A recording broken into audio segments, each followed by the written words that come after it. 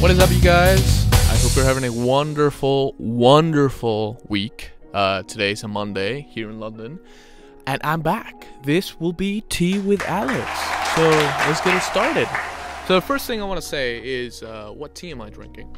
I am drinking a peppermint tea right now. Uh, just pure peppermint tea. If you didn't know, peppermint is really good for boosting your immune system as well as reducing stress, good for digestion, and it's a herbal tea, which means it's an infusion, so it's not technically tea. What is tea is what comes from the plant Camellia sinensis. Camellia sinensis. That's how you say it properly. Oh, fuck, this is good. So, what I want to talk about today is about Nietzsche and his concept of the superhuman or the Ubermensch, okay? What this is gonna be, this is gonna be more practical philosophy, okay? I'm not gonna go in depth about all the technicalities, all the things that I know a lot of other like YouTube channels go into uh, because I want to make it accessible, I want to make it relatable, and I also want to make it something that you can apply in your everyday life. And why is this important? So, we want to talk about three main concepts, okay? Nihilism and the revaluation of values.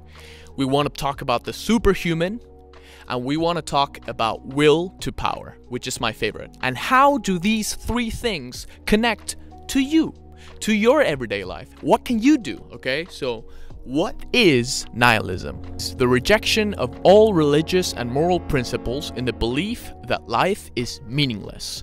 Okay? How do we get into this conclusion, right? So, um, we need to talk about God for a second, all right? So, God um, for a lot of people is what gives you purpose, right? So why are you in this earth? Because God put you there, right? God is also the judge of your actions in a way because uh, if you do good deeds, uh, you go to heaven. If you do bad deeds, you go to hell. So what he says and how he um, talks about nihilism is that God is dead, right? Now a lot of people misinterpret that, but what that means is that the morality of what that implied and the sense of purpose surrounded about around a higher being that has ended. No afterlife for reward or punishment and no purpose, right? So why do we live now? Like what do we do now?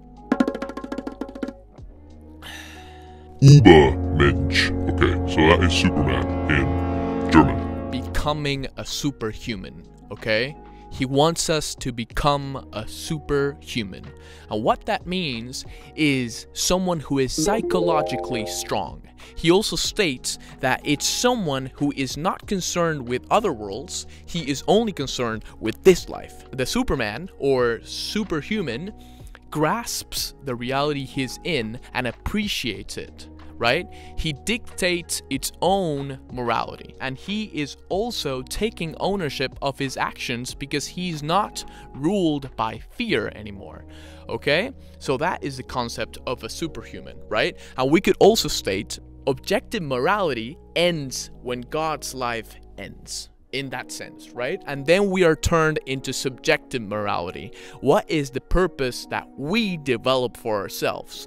What is our own motor for personal evolution.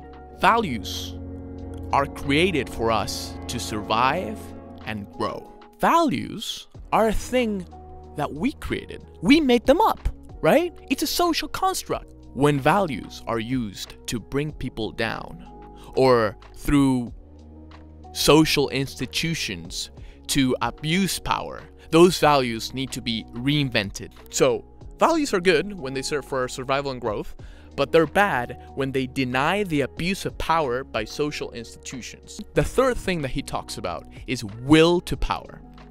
Okay? The great human and the great deed belong to a destiny, one that emerges in situations of crisis or great want. I love this human energy stored and kept dormant for long periods of time in dark clouds of indifference.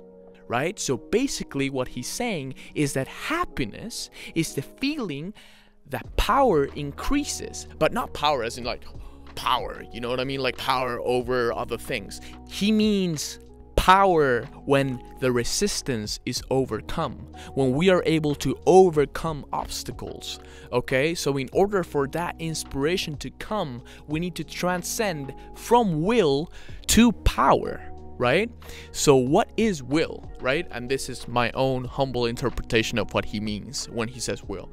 Will is the possibility, and power is the doing, is the action. What can we take out from that? Okay, so first of all, nihilism. Um, in a way, I see it as something that you can apply in your own life by not taking yourself too seriously. You know, in the end, things are meaningless because the universe tends to chaos, in my own opinion, but that is not a bad thing. You know, uh, we as humans and as people tend to tie meaning to everything, but we don't have to, right? Some things don't have meaning, and good things happen and bad things happen, uh, and that's just the way it is. So I feel like there is some liberation in understanding that a lot of the things that happen in the world are random, okay? So that is when it comes to nihilism.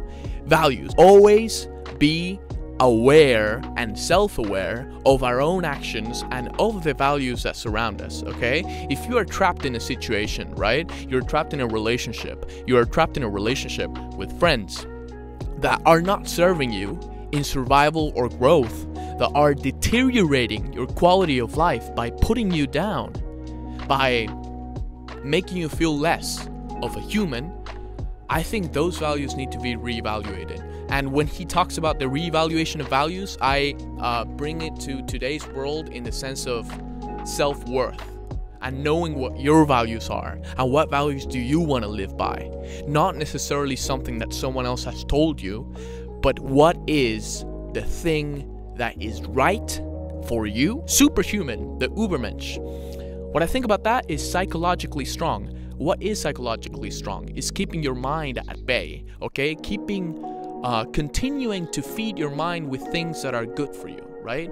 Um, I would say meditation is good. I would say also like connecting with the people that you care about, okay? Asking how like other people are.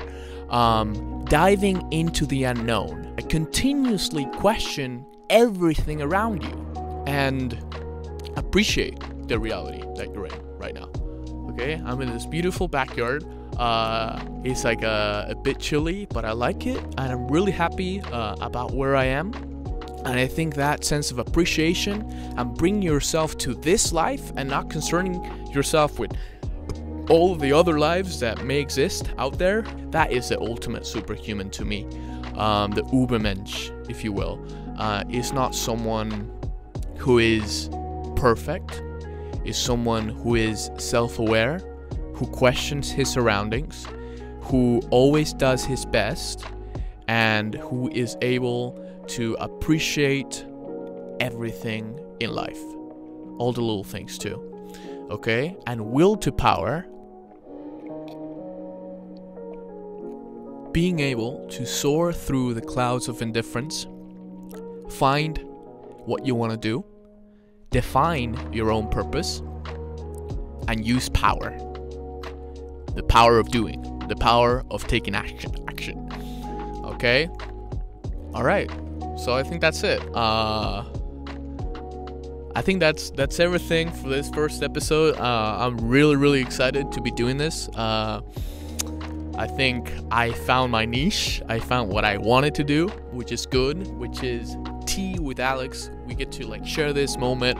Um, I can I can imagine that I'm with my friends back in Argentina. Uh, just a reminder if you are from Argentina, you can always turn on the subtitles in Spanish, but if you want to practice some English, you can put them in English too. This is practical philosophy, okay? So I don't want to get lost in depth about the concepts themselves.